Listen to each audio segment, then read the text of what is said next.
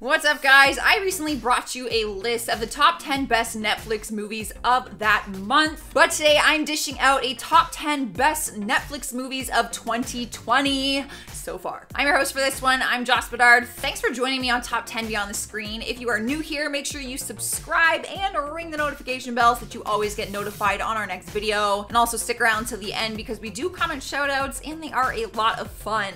But so is this list, so let's get to it.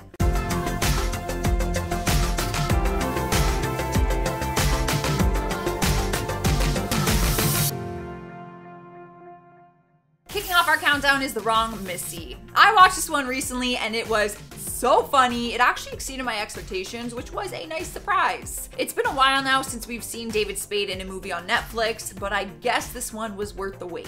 This movie is a comedy and it stars Lauren Lapkus and David Spade and tells the story of a man who thinks he invited his dream girl to join him on a work retreat to Hawaii. But he accidentally texted the wrong person. He ended up texting this woman named Missy, who he once went on a blind date with, and it was disastrous.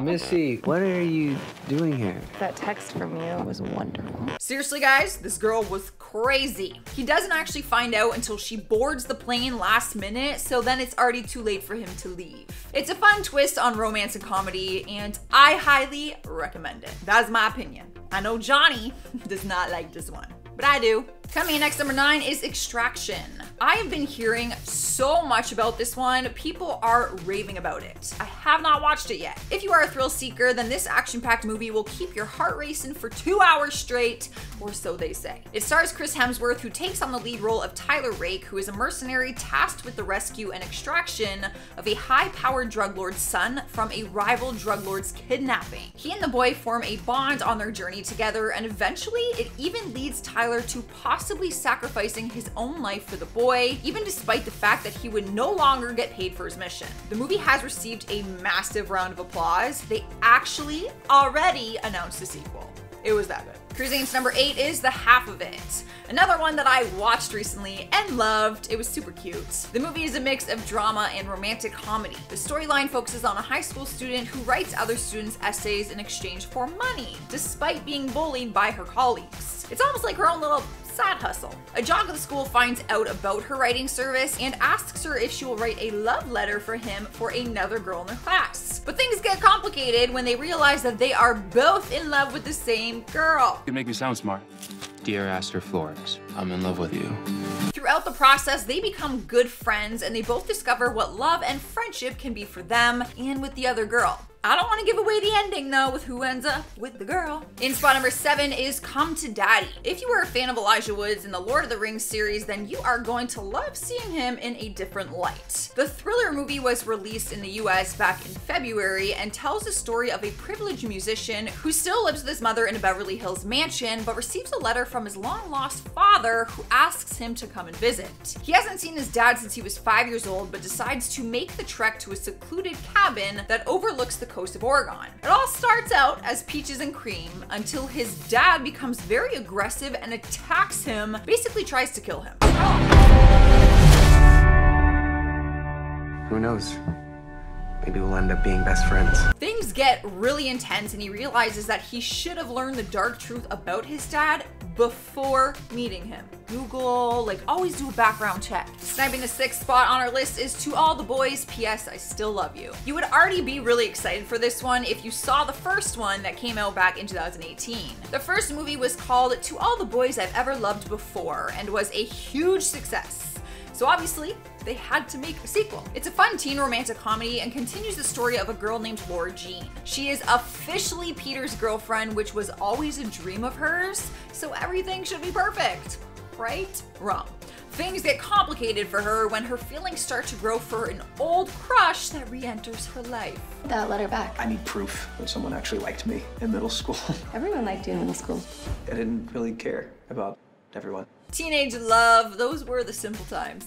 We are halfway through. At number five, we have Horse Girl. Some of Netflix's original films have been a hit or a miss this year, but this one seemed to be a hit. The psychological drama stars Alison Brie, Debby Ryan, and Molly Shannon, and dives deep into mental illness. It tells the story of a girl named Sarah who lives a quiet life after she lost her mother to suicide. She ends up spending a lot of time at her old horse stable where her childhood horse used to stay, hence horse girl. But things get crazy real quick, and she starts to go mentally insane as she tries to piece together her mental illness with her grandmother, who might have suffered from the same thing. I'm just really scared. It's said to be a You're real safe. psychological thrill that you. messes with This your is crazy. and I always love those. We are moving on at number four, we have The Lovebirds. This rom com leads more to the comedy side, but also has a very interesting twist because it throws some crime in the mix romance, comedy, and crime.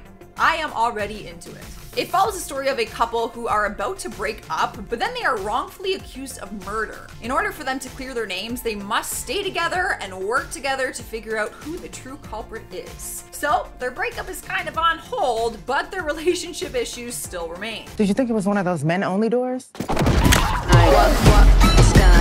All we need is a name, and then we're in the clear. It came out on Netflix recently on May 22nd, and people love to see Issa Rae and Kumail Nanjiani together. They are hilarious. Just check out the trailer. Honestly, the trailer makes me laugh. So this one probably will too. Taking over our third spot is All Day and a Night. This Netflix film stars Ashton Sanders and Jeffrey Wright and is filled with drama and crime, so it is right up my alley. I love me some crime. It's the story of a young man who received a life sentence and spends his time in prison reflecting on the days leading up to his arrest, which we get a very close look at. It goes into details about the years and the different circumstances he went through that compelled him to pursue a life full of crime. I ain't trying to make no money.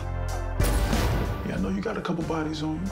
It is not a true crime documentary film, but it sure gives off that vibe after watching the trailer. It honestly feels like these are real people and stories because they tell it in such an incredible way. The story was written by Joe Robert Cole, who also co-wrote Black Panther. Just a fun little fact there. Rolling into the number two spot is Crip Camp, A Disability Revolution. This film is groundbreaking and takes on the structure of a documentary. It explores a summer camp filled with a group of teens with disabilities who help build a movement. The camp was called Camp Jened, which was located in New York. Their movement forges a new path toward a greater equality, and it's incredible to see these teens joining the fight for civil rights. The film was actually produced by former President Barack Obama and Michelle Obama, and people loved it so much that it actually took home awards at film festivals. What we saw at that camp was that our lives could be better. Not gonna lie, really excited to watch this one. Really happy I found it and researched it, watched the trailer, almost made me cry a little bit. Earning the number one spot is Lost Girls. The mystery drama film is based on true events and was based on the book Lost Girls An Unsolved American Mystery. The movie revolves around the murders of young female sex workers from Long Island who lost their life to a serial killer who still remains unidentified. In the movie, a desperate mom fights to uncover the truth about what happened to her daughter and also helps expose a variety of unsolved related murders. Oh, officers located four bodies. What's over there? Tell me right now, damn it! What did you find?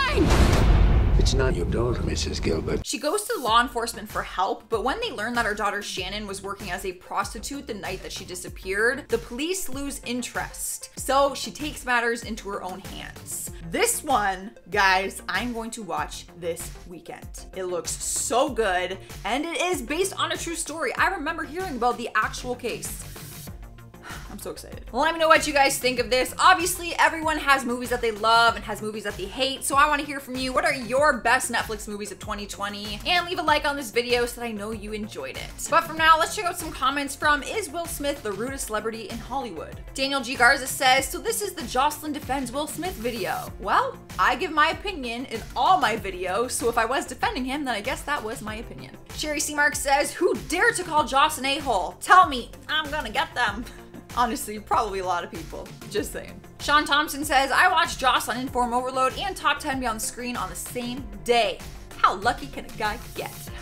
I mean, if you consider that lucky, I am flattered. Film Insight says, guess you haven't seen what Ellen did to her crew. We very much saw it, we very much researched it, and we very much scripted and put out videos on it. If you go to our channel, we actually covered a ton of videos on Ellen and all the claims that came out about her. All right, guys, I'm getting out of here. Make sure you subscribe if you haven't already. Comment, like, ring the bell, come say hi on social media, do all of the things.